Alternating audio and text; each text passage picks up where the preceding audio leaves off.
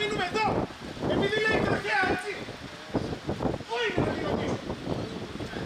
Πού είναι η τροχαία; Έχουμε και δημόσιο για χάρη σας! Πού είναι η τροχαία; Ορίστε μας! Κάποιοι αστυνόμοι μας πρέπει να ξέρουμε τα πράγματα! Λίγα εκατοστά χιονιού από ένα κύμα κακοκαιρίας για το οποίο υπήρχε έγκαιρη ενημέρωση στάθηκαν αρκετά για να προκαλέσουν εικόνα παράλυσης στην Εθνική Οδό Αθηνών Λαμίας.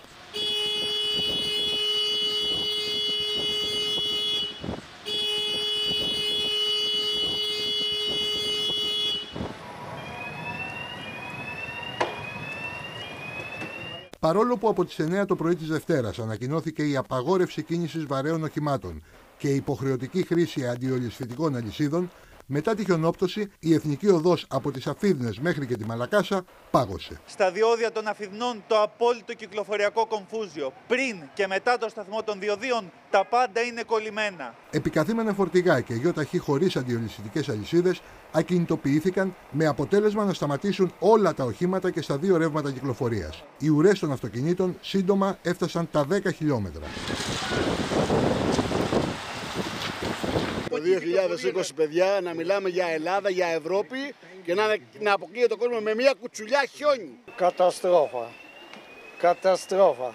Τελικά η κίνηση αποκαταστάθηκε λίγο πριν τις 10 το βράδυ, όμως οι οδηγοί είχαν ήδη εγκλωβιστεί μέσα στα αυτοκίνητά τους μέχρι και 5 ολόκληρες ώρες. Τρίωρο, τετράωρο. Πού πάτε; Πάω για Χαλκίδα. Σας έχει ενημερώσει κανείς τι έχει συμβεί; Τίποτα απολύτως, δεν έχουμε καμία ενημέρωση. Η κατάσταση αυτή προκάλεσε την άμεση αντίδραση προσωπικά του Πρωθυπουργού Κυριάκου Μητσοτάκη, ο οποίος ζήτησε από τους συναρμόδιους Υπουργούς Μεταφορών και Προστασίας του Πολίτη να κινήσουν τις διαδικασίες διερεύνησης των αιτιών της ταλαιπωρίας των πολιτών. Ω πρώτη αντίδραση απομακρύθηκε από τη θέση του ο διοικητής του Β' Τμήματος Τροχέας Αυτοκινητοδρόμων Αττικής, ενώ παράλληλα οι υπεύθυνοι της Νέας Οδού κλήθηκαν στο Υπουργείο Υποδομών και Μεταφορών με το ερώτημα της παράβασης των συμβατικών τους υποχρεώσεων. Σύμφωνα με ανακοίνωση του Γραφείου Τύπου του Πρωθυπουργού, Ο καθένας οφείλει να ανταποκρίνεται στα καθήκοντα που έχει αναλάβει. Η διάχυση ευθυνών καταλήγει τελικά στο να μην λογοδοτεί κανένας. Και αυτό η κυβέρνηση δεν θα το ανεχθεί. Όλοι κρινόμαστε. για επικοινωνιακούς αντιπερισπασμούς που δεν πείθουν κανένα, κάνει λόγο ο ΣΥΡΙΖΑ, τονίζοντας ότι η ευθύνη για το κλείσιμο της Εθνικής Οδού ανήκει αποκλειστικά στην κυβέρνηση. 5 εκατοστά χιονιού ήταν αρκετά για να οδηγήσουν το πολυδιαφημισμένο επιτελικό κράτος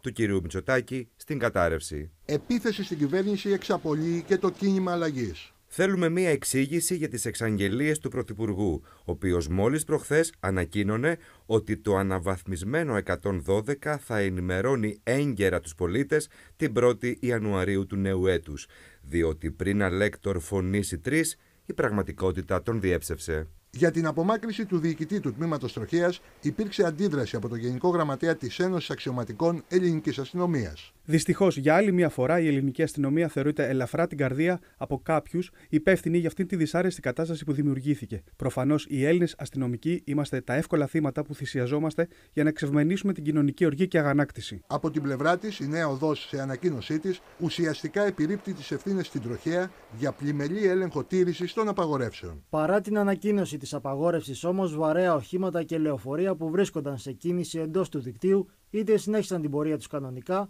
είτε ακινητοποιήθηκαν παρουσία τροχέας, κυρίως στη Λέα των μετοπικών σταθμών διοδίων. Με ακινητοποιημένα οχήματα σε όλες τις λωρίδες και ειδικά στη Λέα, τα χιονιστικά αδυνατούσαν να προσεγγίσουν τα σημεία. Δεν αναφέρει όμως πουθενά ότι είναι ευθύνη της να παραμείνει ανοιχτή η εθνική οδός, χρησιμοποιώντας εκχιονιστικά και αλατιέρε, ενώ παράλληλα έπρεπε να φροντίσει να μην μπουν στη Λέα αυτοκίνητα και φορτηγά.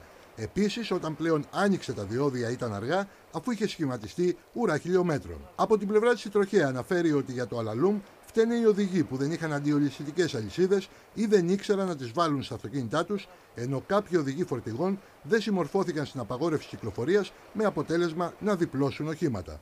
Και ενώ οι ευθύνες για το χάος στην Εθνική Οδό και την απίστευτη ταλαιπωρία έχουν γίνει για ακόμη μία φορά μπαλάκι από τους υπεύθυνους φορείς, τις επόμενες ημέρες αναμένεται πόρισμα επιτροπής που συγκροτήθηκε από τα Υπουργεία Μεταφορών και Προστασίας του Πολίτη, το οποίο θα δείξει τι έφτεξε και μία συνηθισμένη χιονόπτωση έκοψε τη χώρα στα δύο.